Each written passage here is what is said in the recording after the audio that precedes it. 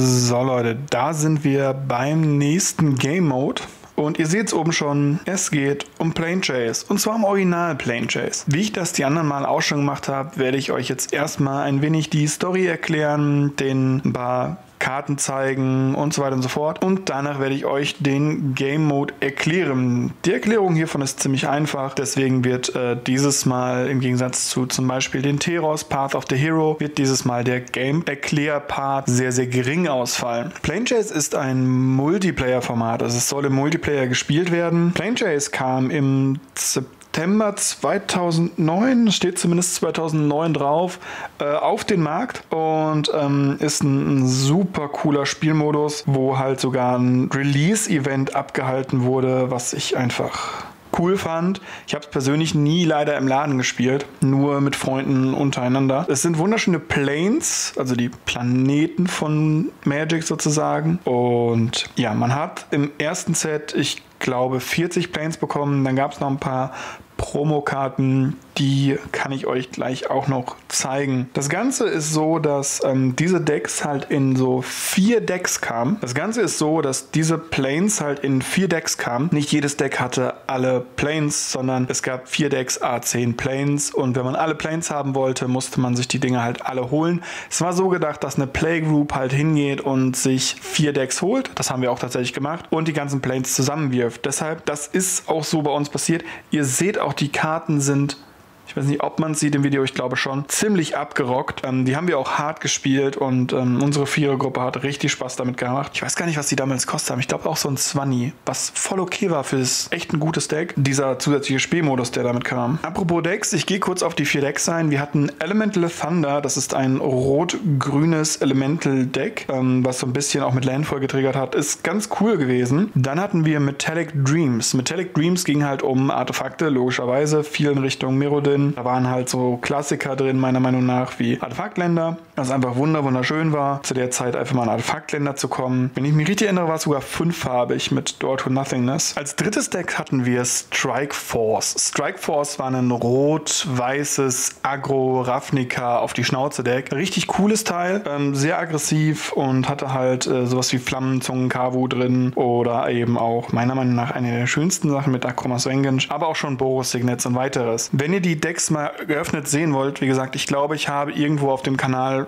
ich glaube, alle geöffnet, aber das ist halt, keine Ahnung, zehn Jahre her oder so oder fünf Jahre her. Dementsprechend ist die Qualität nicht ganz so geil und die Dinger findet man nicht mehr so häufig und wenn, dann sind die Preise gerade im OVP ziemlich hoch. Dementsprechend, ich verweise unten in der Videobeschreibung mal auf die anderen Videos, aber macht euch da nicht zu viel Hoffnung. Die sind nicht so geil, aber die Decks sind geil tatsächlich. Als letztes haben wir noch Zombie Empire. Zombie Empire hat halt mit Kabel Koffers einen der höchsten Value meiner Meinung nach. Noxious Ghoul, Phyrexian Ghoul, Soulless One. Das ist ein richtig geiles das Zombie-Deck sogar mit Phyrexian Arena. Also ist ein richtig, ich glaube, das ist so der, der, der Moneymaker in dem, in dem Pile. Und ähm, diese vier Decks haben eben Karten des ähm, damals bevorstehenden Zendika-Blocks drin gehabt. Jede, jedes Deck hatte eins davon. Also wir hatten Beast Hunt, Hideous End, Core Statifier und Whiplash, Whiplash Trap.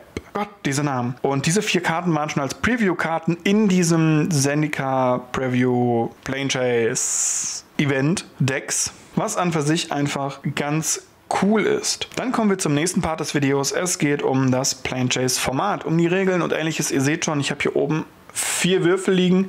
Die kamen, also jeder Würfel kam in einem dieser Decks.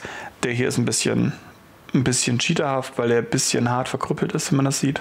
Weil der ein bisschen hart rund ist, wenn man das sieht. Aber gut, Quality Control bin ich jetzt auch damals schon nicht gewohnt gewesen. Plane Chase war halt ein, ein Casual Game Format. Also man hat keine Turniere gemacht, man hat einfach nur sich hingesetzt mit vier Freunden oder auch mehr und hat einfach nur ein bisschen Spaß auf dem Tisch gehabt. Ähm, diese Planner Dice, also Planarwürfel, wie sie in Deutsch hießen, sind sehr wichtig dafür, tatsächlich. Denn ein Plane ist folgendermaßen aufgebaut. Wir haben oben einen statischen Effekt, der sagt, in diesem Fall von Academy at Tolaria West, zu Beginn jeder Endstep, wenn man keine Karten auf der Hand hat, zieht man sieben Karten nach. Das ist stark. Dazu gibt es hier eben einen Effektwürfel. Das sind zum Beispiel die beiden Würfel, habe ich da reingelegt. Immer wenn man den Effektwürfel würfelt, wirft man seine Hand weg. Interessanterweise ist es so, diese Würfel haben eben hier wie man das sieht, einfach nichts auf den ganzen Seiten. Das sind einfach leere Seiten. Eine Effektseite und eine mal dieses Planeswalker-Symbol. Wenn man das Planeswalker-Symbol würfelt, geht man zum nächsten Plane. So, wie würfelt man jetzt? Man geht hin und darf das erste Mal in jedem Zug gratis würfeln.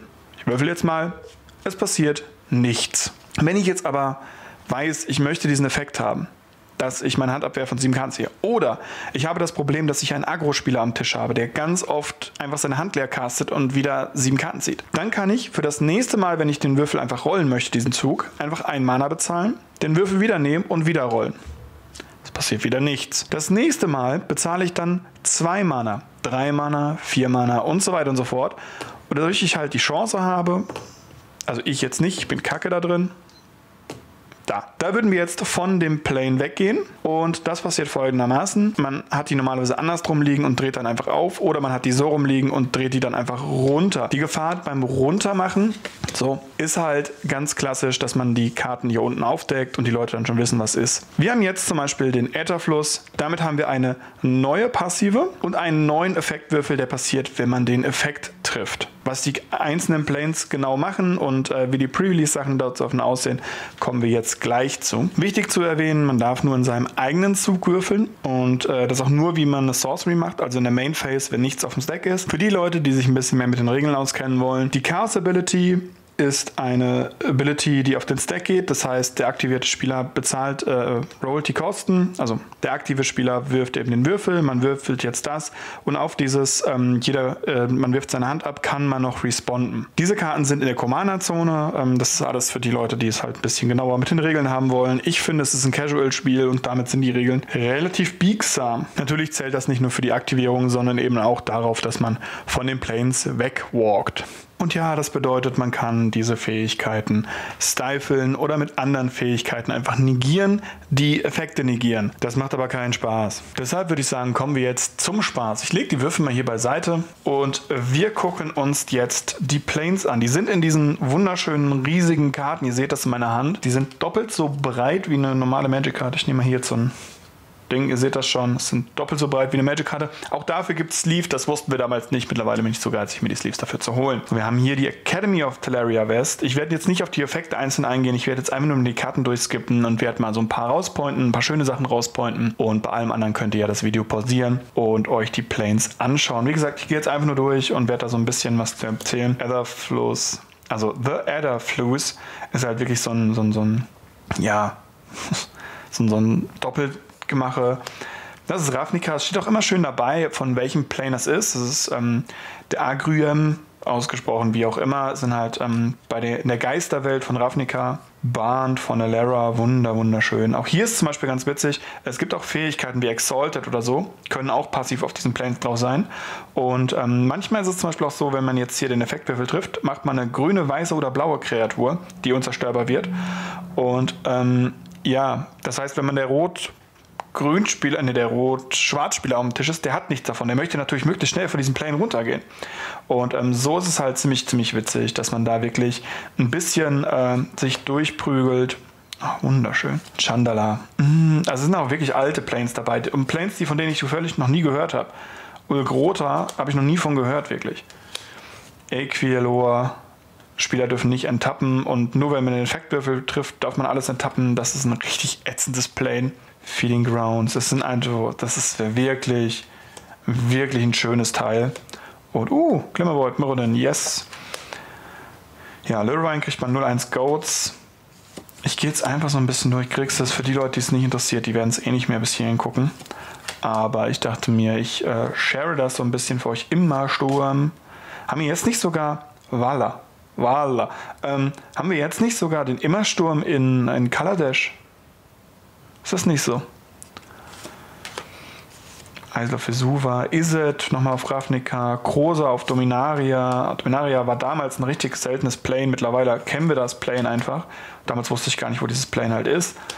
Der Malstrom von Elara, nicht zu vergessen. Elara, wunderschön. Oh, Minamo, Schule am Gestade in Kamigawa.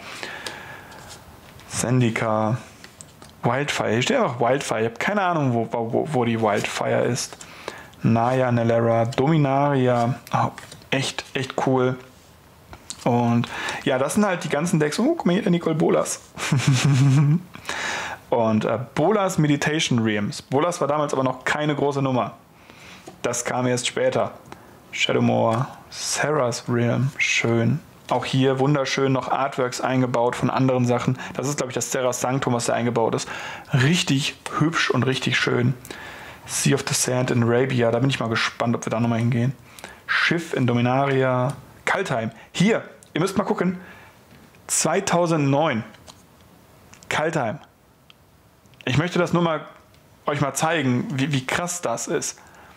Also es ist unglaublich cool, sowas nochmal in, die Hand, in den Händen zu haben und sowas nochmal anzugucken. Ich würde es auch lieben gerne nochmal spielen, gerade weil äh, man braucht halt nur eine Person, die das Ding hat. Und das geht auch per Kamera. Turi Island, Kreaturen kosten zwei weniger. Dann haben wir nochmal einen Ravnica. Und das letzte, was ist, ist von Lirovine.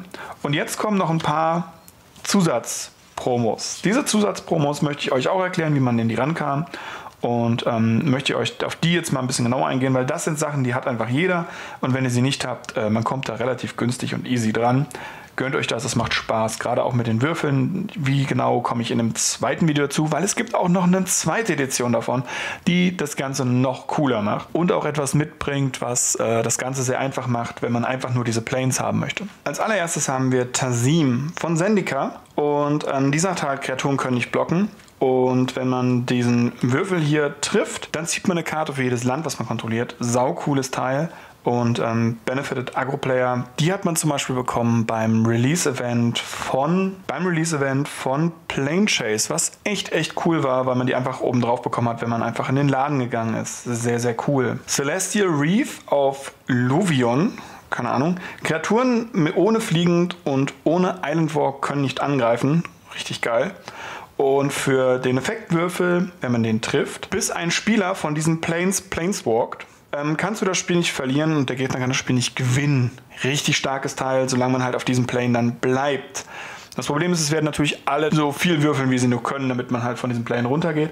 Das hat man bekommen zum Zendika Pre-Release. Einfach so noch oben drauf. Auch richtig cool.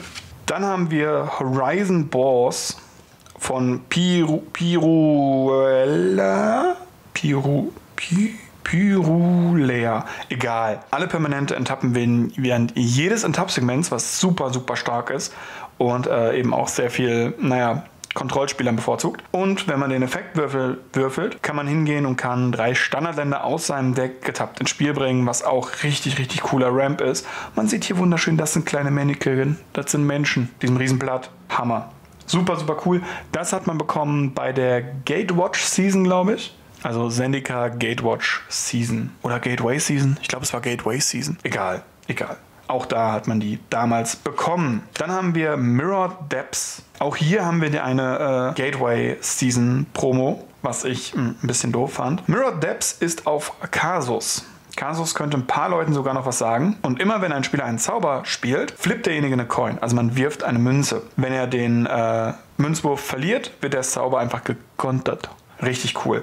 Wenn man den Effektwürfel trifft, dann wählt man einen Spieler aus. Dieser Spieler zeigt die oberste Karte seines Decks vor. Und wenn es eine Nicht-Landkarte ist, kann er sie casten, ohne die Mana-Kosten zu bezahlen. Natürlich, wenn er sie in dem Moment auch casten kann, glaube ich. Wobei, es kann auch gut sein. Nee, man, er, muss, er muss dann schon die Casting-Bestimmungen haben. Dann wird natürlich wieder geschaut nach einer Münzwurf, ob das Ding durchkommt oder nicht. Super, super cool. Macht halt manche Decks richtig broken, wenn das mal relativ zügig kommen kann. Und dann kommen wir zur letzten Promo von dem damaligen Plane Chase, soweit ich weiß. Ich habe zumindest keine anderen mehr gefunden. Timber City auf Kinshala. Da will ich auch mal hin. Das sieht richtig cool aus, Kinshala. Auf jeden Fall ist das die letzte Promo gewesen. Die hat man bekommen zu einem Pre-Release-Event von Arch Enemy. Und Arch Enemy kam ja ein Jahr später raus. Arch Enemy ist auch ein Format, was ich euch noch vorstellen werde, beziehungsweise das nächste Video wird tatsächlich Arch Enemy sein. Und zum Pre-Release des nächsten Videos bekommt man diese Karte, beziehungsweise bekam man diese Karte. Dementsprechend haben wir hier Temba City Kinshala.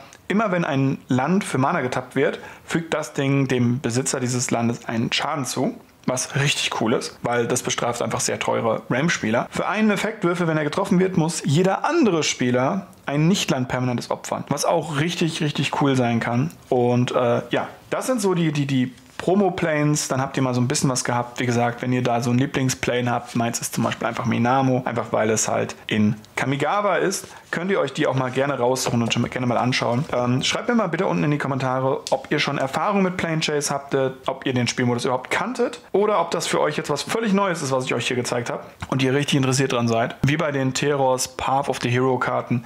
Wenn ihr wollt, dass ich das mal spiele, ich Aktuell ist es schwierig und ähm, es ist nicht so geil, das über Webcam zu machen, weil ich persönlich Webcam nicht so mag. Aber für euch würde ich das dann doch machen und würde diese, diese Planechase-Karten mal in eine Runde reingeben und würde damit mal spielen und das Ganze aufnehmen und euch hochladen. Wenn ihr da Interesse dran hättet, würde ich das für euch auch mal tun.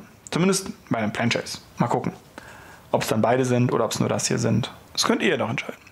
Das andere Video kommt auf jeden Fall auch noch. Arch Enemy kommt als nächstes und wir gehen also aktuell so ein bisschen chronologisch durch. Dementsprechend hoffe ich, das Video hat euch gefallen. Wir sehen uns beim nächsten Mal. Bis dahin, neuer Black Ciao, ciao.